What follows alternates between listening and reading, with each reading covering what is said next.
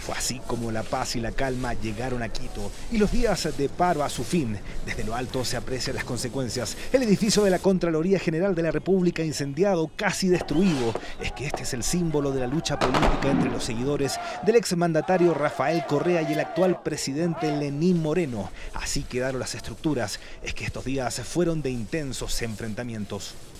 Claro, estamos así limpiando la ciudad de lo que apoyar, de lo que hicieron nuestros hermanos indígenas. Bueno, como ustedes se pueden apreciar, los ciudadanos de Quito se han volcado a las calles con palas y escobas para limpiar los rastros de estos 12 días de movilizaciones. Por otra parte, impresiona el empuje que le ha puesto la gente para intentar replicar la ciudad que tenían antes de que comenzara este conflicto. Yo he estado ayudando a limpiar las calles, por eso la cara sucia. He estado, hemos estado barriendo, recogiendo todo esto. En Quito hay muchísimo por hacer, por eso cientos y cientos ayudan como pueden a limpiar los restos de las barricadas. Por disposición del señor alcalde es que después de este acontecimiento que vivió el país, pues hagamos la limpieza.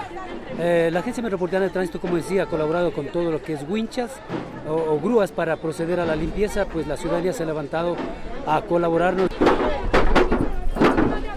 Quito hay muchísimo por hacer, por eso cientos y cientos ayudan como pueden a limpiar los restos de las barricadas que los ecuatorianos lo han pasado mal. En este conflicto hubo muertos, heridos y detenidos. La ciudad está sensible y por supuesto que su gente también. Sobre nuestros hermanos indígenas, es muy satisfactorio lo que ellos hayan hecho por nosotros. Realmente lo que nosotros estamos haciendo es muy poco para lo que ellos ya hicieron.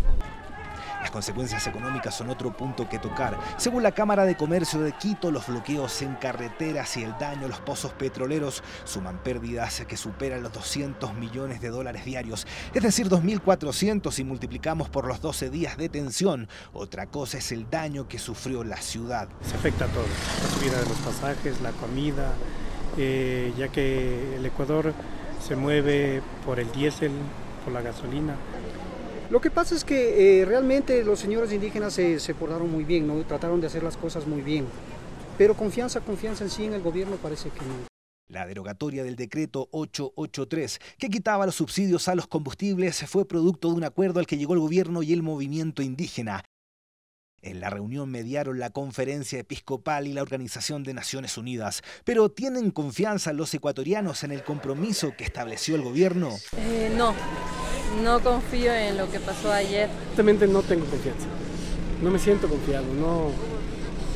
Mientras no vea que efectivamente las autoridades dan su paso, ceden, mientras no vea que efectivamente las autoridades escuchen el clamor del pueblo, no puedo tener confianza. Lo que viene para Ecuador es formar una comisión de expertos que se dedique a elaborar un nuevo decreto para reemplazar a la anterior ordenanza, que fue finalmente la que detonó esta crisis.